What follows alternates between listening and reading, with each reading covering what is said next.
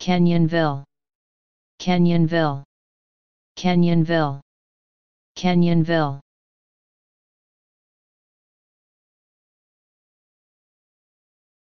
Please subscribe and thanks for watching.